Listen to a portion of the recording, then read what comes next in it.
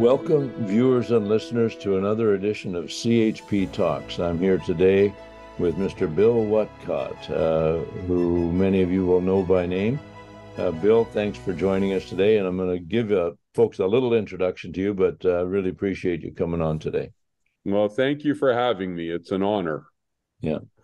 So, uh, this is uh, for introducing Bill. I don't have a long uh, list of schools he's attended and things like that, but here's his description of himself. He sa- says he's an imperfect Christian, saved only by God's mercy and the precious blood of his Son, Jesus Christ.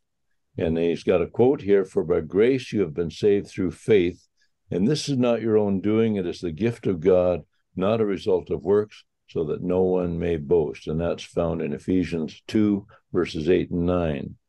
Uh, Bill has been to the Supreme Court of Canada, uh, defending himself and representing uh, the rights of free speech and, and those kinds of things. He's been dragged in front of Human Rights Commission three times. Uh, he had a case with Ronan Oger, in British Columbia. And in that case, Bill was fined $55,000 for so called misgendering and for encouraging people not to vote for Ronan during an election. Uh, he also he was the vice president of the BC NDP. Yeah, that's that's right. Uh, well, maybe you can tell us a little bit more about that after I finish introducing you. Jonathan Yaniv, uh, some of you may know him as the guy who wanted uh, female estheticians to uh, massage his personal parts and and uh, wax them and so on. Uh, Jonathan Yaniv uh, wanted to get thirty thousand dollars out of Bill. yeah, he started an investigation, but he abandoned it. Um, and then Bill was fined seventeen thousand five hundred dollars for criticizing homosexuality in the public schools. That was way back in two thousand one the SHRC versus Bill Whatcott.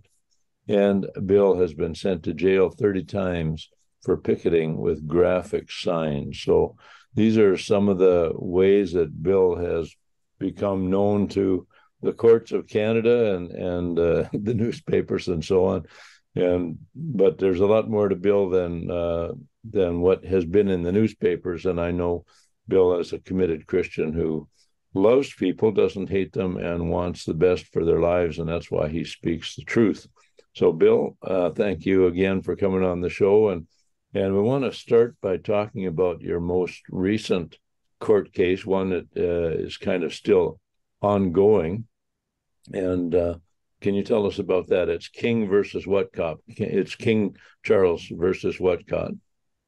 Yeah, it started as Queen Elizabeth versus Whatcott. It's been going for a while. Um, that's how the courts in Canada do it when it's the Attorney General prosecuting you. And this originally started as a class action lawsuit. Um, it started as a $104 million lawsuit, in fact, uh, with Justin Trudeau and former Premier uh, Kathleen Wynne of Ontario, who is an out lesbian uh, being part of the aggrieved parties. So I think I'm the only Canadian in all of history to be sued as a private citizen by a sitting premier and, and prime minister. Mm-hmm. And really, it was for a pretty silly reason. Um, just to give your your uh, followers a bit of a background, I applied to march in the Toronto Homosexual Pride Parade, and keep in mind, we all pay for that. If you're in the city of Toronto, you pay for it with municipal taxes. If you're in the province of Ontario, you pay with provincial taxes.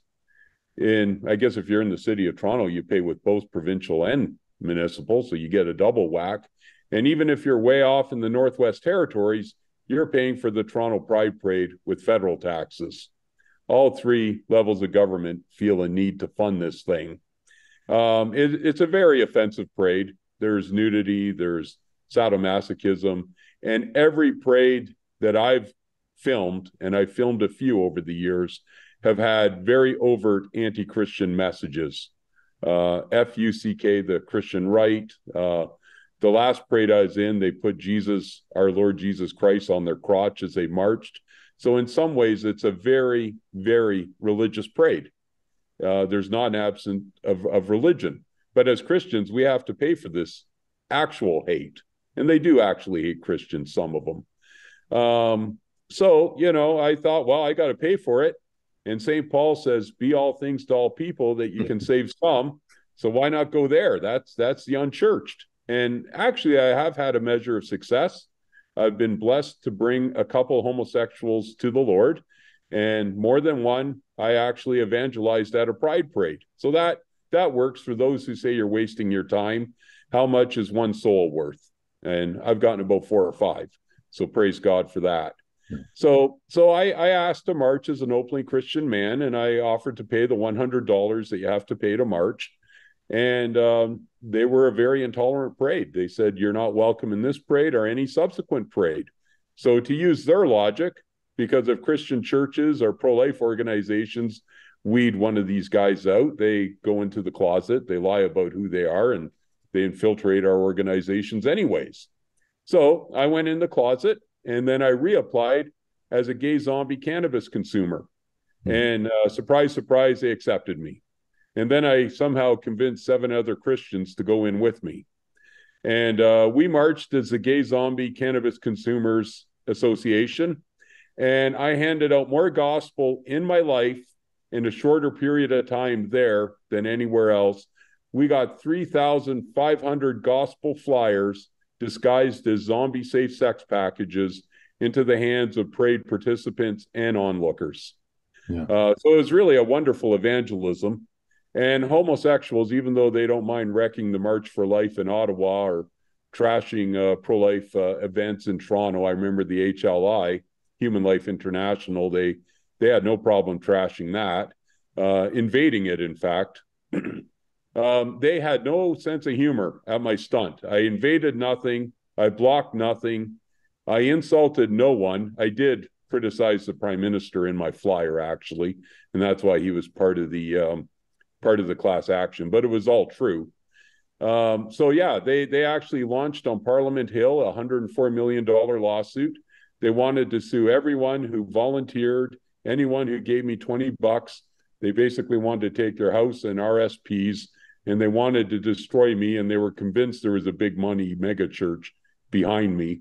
They didn't understand that I got my zombie uh, costumes out of Value Village, and and you know uh, basically ran the whole thing on like four grand. 2000, I should note, I, I raised myself working as security uh, for the Teamsters on a gay movie set. They they put me on the movie set. I didn't really ask, and you know everybody deserves to not have their cars stolen. So I was content to stay in the uh, parking lot as long as I didn't have to go on the set and be a part of the debauchery. And they paid me 25 bucks an hour for six weeks. And I used that to to to infiltrate the homosexual parade and get all my activists there. So they'd really have to sue the gay movie in Toronto because they were my biggest sponsor, mm-hmm. although they didn't know it. Yeah. Um, yeah, the, the the they they discovered I had no money, and I would not give up the name of my friends. I said I'd sit in jail forever. And um, after after about three years of trying, uh, Doug Elliott, the homosexual lawyer who who launched this lawsuit, with the help of George Smitherman, the deputy premier back in the day, and Hudspeth, another homosexual activist. When they realized they weren't getting names out of me and they weren't finding any money, they discovered me upside down and sideways. And for most of it, I was in a one bedroom apartment, uh, bicycling to, you know, work that was about $2,000 a month. So there really wasn't nothing to, to take. Um, they gave up, but they really didn't give up. Then they got the Attorney General of Ontario to put out a Canada wide arrest warrant for me. At that point, I was in Alberta, and they actually extradited me from Alberta two years after the fact and pursued with this insane criminal case. Now, I did have a good lawyer. He was not a friend of ours. Uh, he was Jewish and secular, I believe, but he did follow the law. And with reluctance, I would say, he acquitted me. He looked at the flyer and said, there's no actual hate in it. And there isn't hate. There is gospel and there is accurate medical facts. Um, what can I say? Rather than let that go, they actually appealed it on Christmas Eve 2020.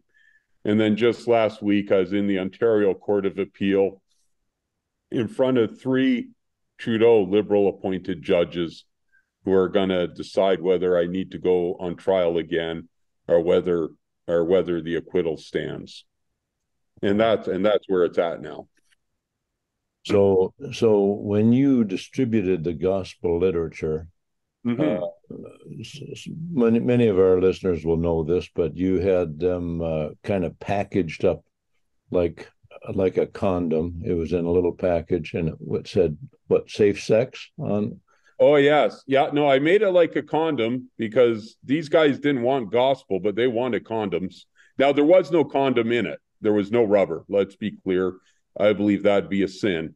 But I packaged it so nobody would throw it out. Because remember, Planned Parenthood is there handing out real condoms. Um, there was other public health groups, so-called, that were handing out free condoms. Well, I made mine the best condom in the world. My package was four times the size of their packages. And I put zombie safe sex $5. Now, we didn't charge $5, we gave them for free. But everybody thought they had an awesome $5 condom. And some of the sodomites actually opened them up at two in the morning with their boyfriends. And then they got the testimony of Walt Heyer, how he lived a life a life of uh, deception for eight years, calling himself a woman, and then found Jesus Christ and reclaimed his manhood. And then I had a um, testimony, I believe it was Dennis Jernigan, I think, who lived as a homosexual and picked up many men and became very depressed. And after trying suicide, he found Jesus Christ, and he's now married to the same woman for 30 years and has a music ministry. So they had very good information. They just didn't have rubber. Yeah. And then I then I also had the medical risks of homosexuality. And that really pissed them off. I was getting hate messages at two in the morning by the hundreds. Yeah. And did you also have the gospel was uh the gospel was very, very clear. People can see the flyer. Remember, even in the testimony of Walt Heyer, he accepted Jesus Christ. But then I did have scripture. I had relevant scripture at the bottom of my flyer, and they got the scripture rather than hanky panky that doesn't really keep them safe. Um, and 99% didn't appreciate it, but 1% did. Yeah. So Well- that was worth it. Yeah. it was uh, creative and and I had not heard the part before that you uh, you actually tr- applied as a Christian first. I applied as an openly Christian man and they wouldn't accept me and they put me in the closet. yeah. So Well, they put a Canadian taxpayer in the closet who wanted to be a part of their parade. yeah. And they're all about diversity. Yeah. So, so this was a bit deceptive. So, tell us about the trial. Uh, I mean, so what what year was the parade that you you participated The in? parade was June 2016, and the media was absolutely gaga because the first prime minister in Canadian history was marching in it, no less uh, the the chronic pride parade attendee Justin Trudeau. Yeah, yeah, okay. Yeah. And and when did it first go to court? They they went after you for a Uh, hundred yeah. Yeah, they Mhm. announced that on Parliament Hill, I think in August 2016. So that was pretty fast. It was like six weeks after I did this is the announcement on the Parliament Hill press gallery that that that they're coming for me for 104 million and everybody associated with me. They were I didn't realize they were so mad to be honest. Like, you know, people have pulled stunts on me, the homosexuals, and I, I don't get like that. Yeah. I, I've seen some pictures of you at that parade. It looked like you and your fellow uh, so-called gay zombies were uh, actually being quite friendly with the crowd. There was no, Oh, No. there was police looking for me when uh, some of the people opened it up and I was photo opping and hugging them. yeah, yeah. Yeah, yeah, yeah, yeah. So No, no we, we we weren't being mean to anyone. yeah, no.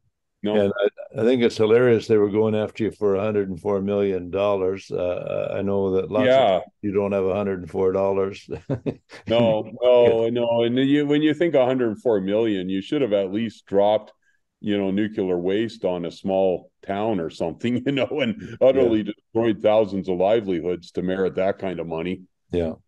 Yeah. So so then when did they extradite you from Alberta? Like that was sometime That late- was two years after the fact, almost two years to the day, in fact.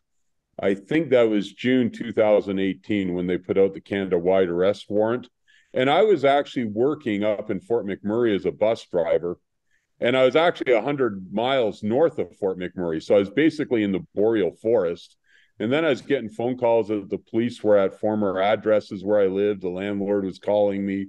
They found some of my family members and showed up at their house. And then they had even ex friends. I don't even know how they got them in two different provinces uh, BC, Saskatchewan, some of my friends in Alberta my uh, my wife was at home and the RCMP showed up at my actual house uh, looking for me, and then they were all phoning me, and I'm thinking, well, that many cops in that big of a geographical area, all of Western Canada, the three Western provinces, anywhere where I ever been, I thought this has to be really serious because I know when I was a regular criminal and stole a car, they never put those kind of resources into you ever. So, you know, I thought this is like like murder and no. I better I better deal with it because I had no idea. And yeah. you know, my zombie flyers two years after the fact, I didn't think it could be that. So I actually phoned a Christian lawyer friend of mine, and then he called uh, the Leduc RCMP because that was one of the RCMP actively sending people because I lived for a time in Leduc. Um, and then they said, yeah, they got a Canada wide warrant from Toronto and it appears to be for hate literature. And when I heard that, then I knew it was the gay zombie stunt, and I was actually pretty pretty relieved because you know, yeah. So so then you turned yourself in. Uh, yeah, I drove to Calgary and turned myself in. They flew you to Toronto, and I think they, yeah. if I remember the story, uh, then they wanted you to pay for the flight. Is that correct? Nope, nope, nope. The taxpayer was paying for the flight, but they did leave me without food for 24 hours. And I had a pretty high blood pressure, 180 over 100, and an eye infection. And they actually denied me my medications. The Toronto, the the Calgary police, a couple of them were very nice, and a couple of them were very, very abusive and really unprofessional. Hmm. Well, yeah. so you made a brief reference. I think we need to go back to that uh, about when you were a regular criminal. Oh yeah. Let, let, let's go a little bit back further in your life uh, and uh, so to make a distinction between what you were doing then and what you're doing now and what happened in between. Yeah, I was an atheist. I was brought up in essentially a non-Christian home. Um, and you know, it wasn't ideal. My dad was out of the picture when I was six years old, and my mother did the best she could, but she was a, a, a serious alcoholic. Um, and then I guess at the age of 14, I wound up in foster care. And by then I was a very disturbed kid. So at one point uh, in Strathroy, Ontario, I tried to shoot up the uh, police station with a high powered slingshot and actually shot at the secretary at the desk. I was a very dangerous kid.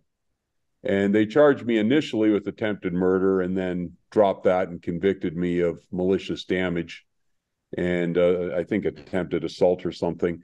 Anyways, um, anyways, I wound up in the juvenile justice system and it was very kid gloves. My life improved. My standard of living improved. And I liked being institutionalized. I became institutionalized very quickly um, eventually, you have to get let out of juvenile. I committed a nonstop crime spree while in custody. So I pretty much stayed in custody nonstop to the age of 16. Was released uh, briefly and then tried to steal a car and uh, strike this person who tried to intervene with a chain. And at that time, I was only 16, but I was charged as an adult because there was a period where the adult system kicked in at age 16. And I did wind up in jail, and that was pretty shocking. Uh, got beat up and then was in segregation for three weeks. But by then, I was so institutionalized, so immoral, so used to stealing and lying and doing my own thing that I really had no actual skill to go straight. So from the age of 17 to 18, I probably got arrested another few times, wound up in the young offender system because that change happened where young offenders became 18 years old. And then uh, on to really serious crimes where they treated me more leniently than this flyer.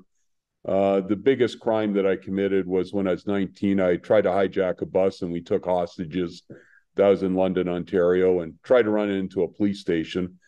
And honest to goodness, the police response for that was less than my flyer.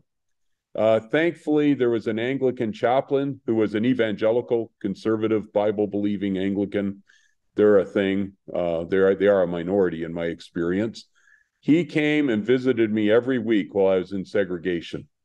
Um, I did wind up in segregation again. Uh, wrote a death threat to a guard, set a fire to a workplace that I was working in, and they just left me there for six months solid.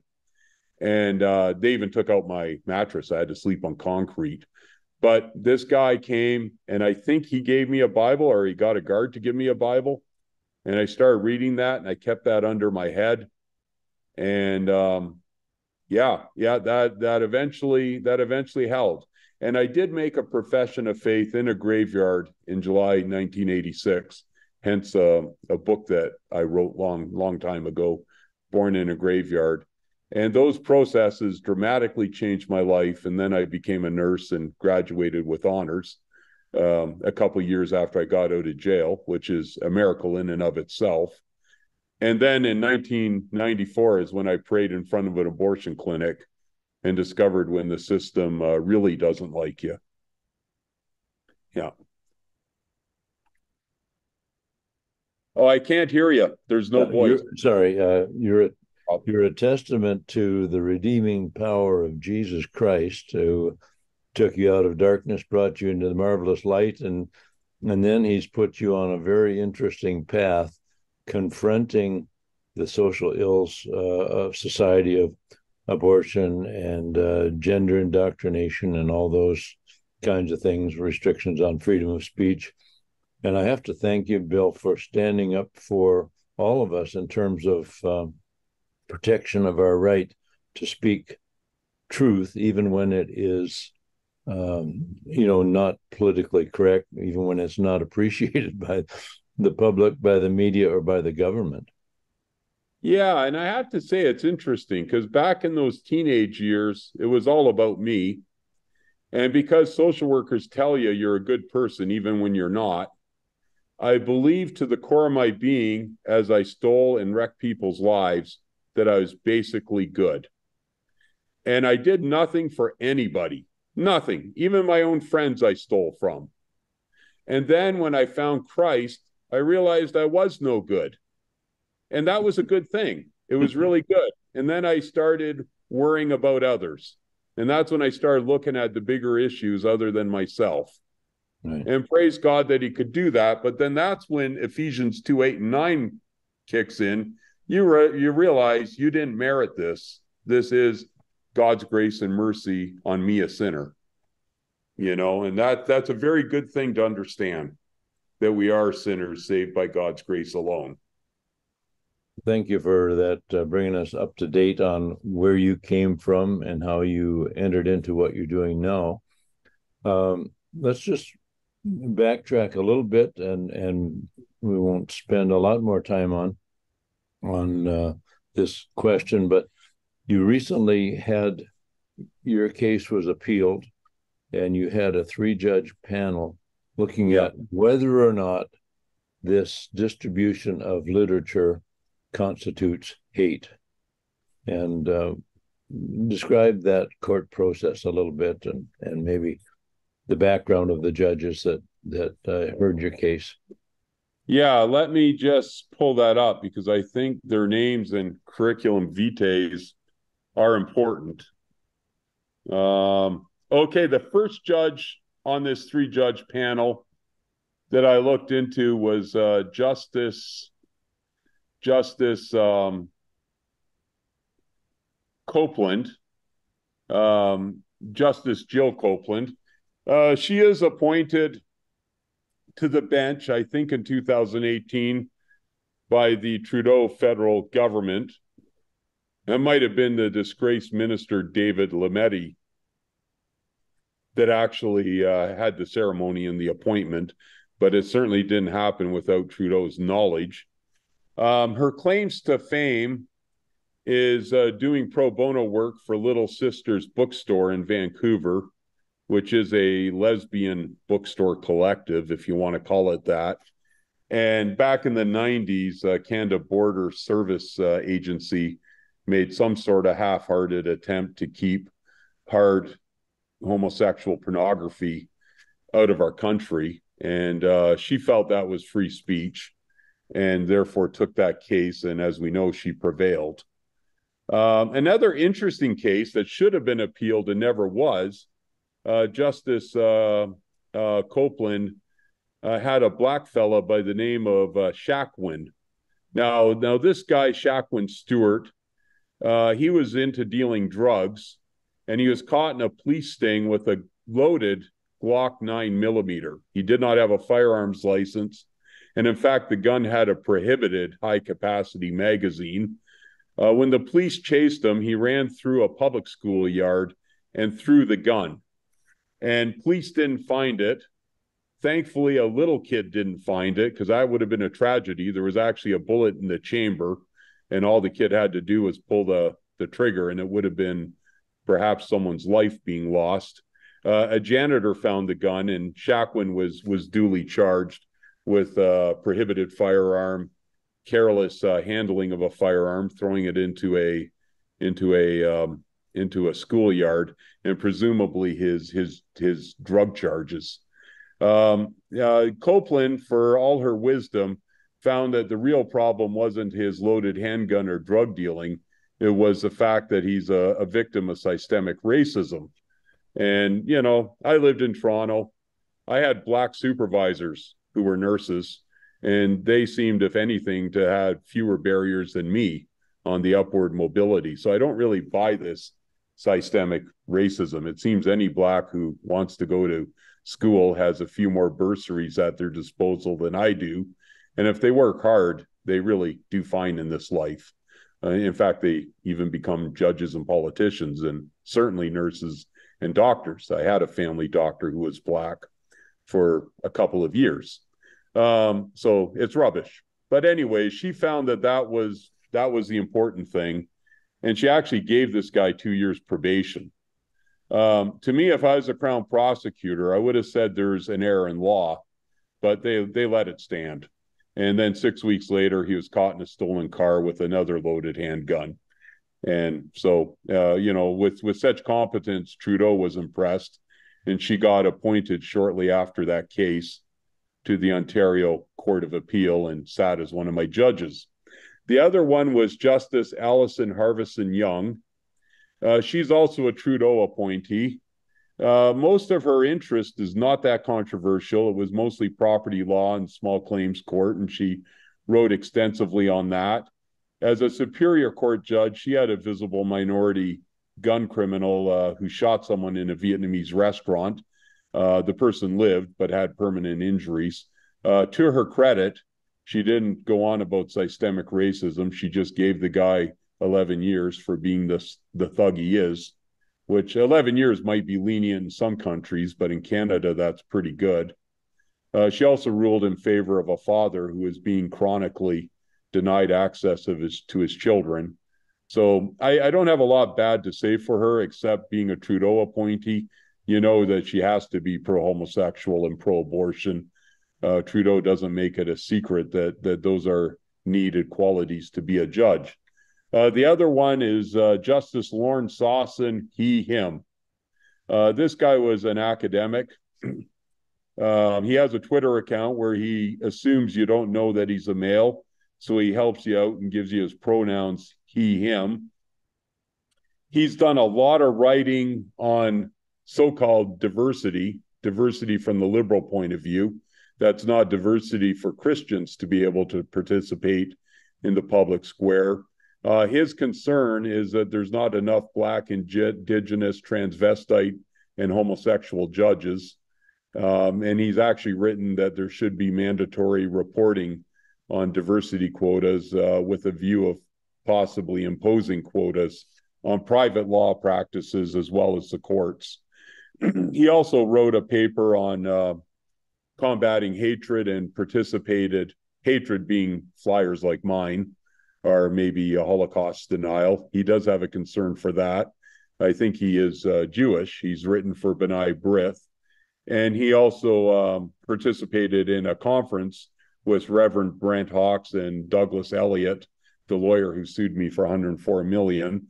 Brent Hawkes is a so-called pastor of a homosexual church in Toronto. Um, and, and he and he participated in a symposium with them combating hatred in the 21st century. Uh, of course, he's also a Trudeau appointee. Uh, so those are my three judges. And so, you know, with God, all things are possible. But if I have a hundred bucks, I don't think I'm going to get a fair hearing out of them. Yeah, yeah. Well, yeah. Uh, that's that's a general problem with our court system today. Um, we lost uh, maybe one of the better Supreme Court justices recently, uh, who has resigned as a result of allegations being made against him. And so Trudeau will get to appoint one more uh, Supreme Court judge, uh, and I think that would be that would be the sixth. So six out of nine appointed by Trudeau, and we know where he stands on all things that are. Yeah, and some of the Harper appointees were pretty dreadful already, so it's yeah. not good. So it's uh, it's a, a, sad day when we think of uh, the Supreme Court being stacked against the things that we believe in and, and truth, righteousness.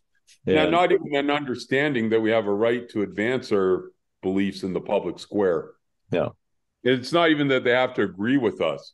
Just no. understanding a democracy if someone has a heartfelt political or moral point of view, let them speak their mind if they're not committing acts of violence. No. So, Bill, when do you expect to hear the result of your court case? Um, Mr. Rosen, my lawyer, who was also the lawyer who represented Paul Bernardo, uh, a very competent lawyer, um, he expects the ruling somewhere around four to seven months. Okay. Yeah. All right. Well, we certainly hope you get uh, justice. Uh, and we know that as Christians, if we don't get justice in this life, we will get it in the in the life to come. So, uh, but we we look for kingdom principles to be manifested down here, and we work to bring those to pass. So, thank you for being a person who stands up for truth, for life, and for uh, a biblical view of sexuality, which is, of course, increasingly uh, uh, despised by the ruling elite in this country, and that sometimes includes the courts. So, Bill Whatcott, thank you for joining us today we wish you all the best uh, in the days ahead and, and, that this court case will unfold uh, as it should. Thank you. And God bless you, and you have a nice day too. Thanks a lot, John. Bye bye. You have a good day. Bye bye.